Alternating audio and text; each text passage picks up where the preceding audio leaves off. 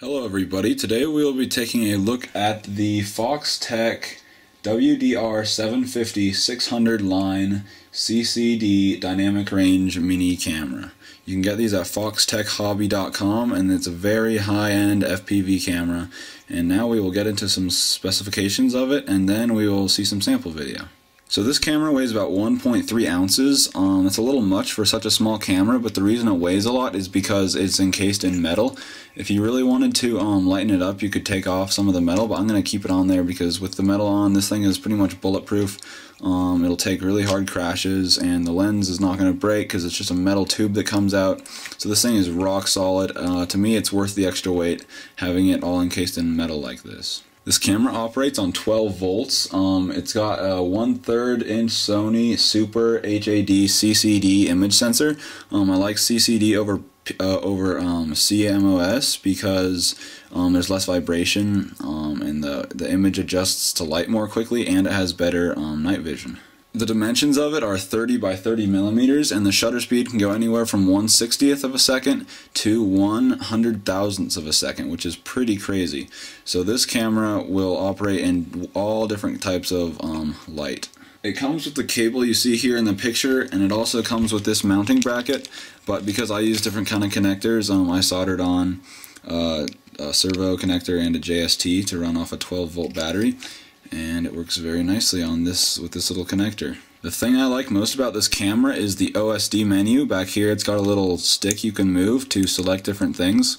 Um, and with this OSD control you can change all different kinds of settings. So we're going to go ahead and take a look at that now.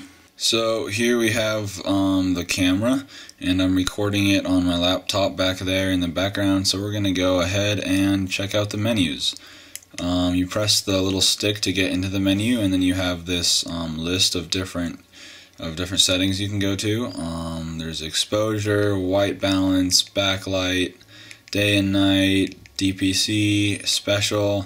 Um, special goes to another menu of camera title.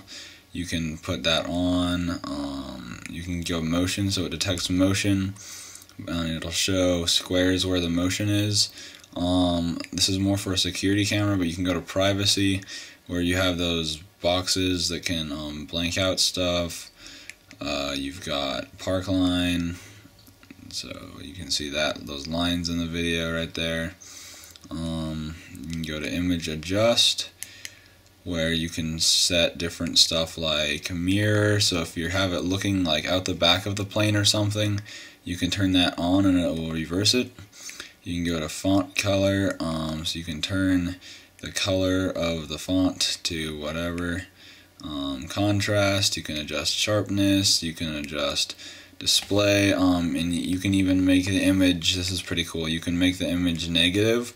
So if you want to pretend you're flying like a drone at night or something there you go it's all negative. So you can switch that back to normal.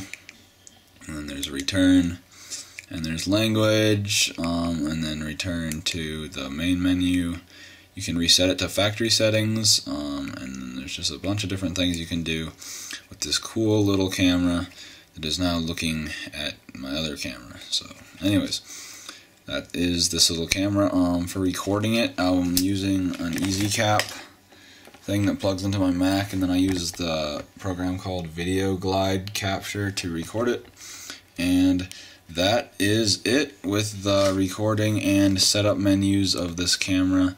As you can see, it is a very versatile camera with lots of different things you can do with it.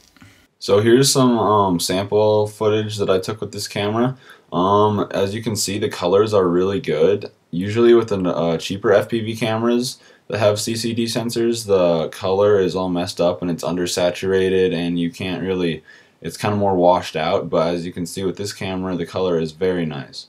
Um, here I'm heading outside to do some brightness testing or color or uh, light adjust testing.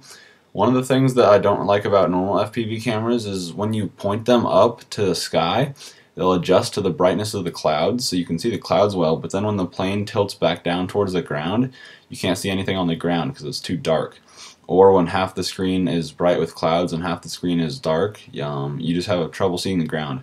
But as you can see here, I look up and the camera doesn't really adjust to the brightness of the sun, which is really good. So then right when I look down, I can see the um, I can see the ground and all the details, and there's no time it takes to adjust. So I'm very confident this camera will be great for flying FPV with.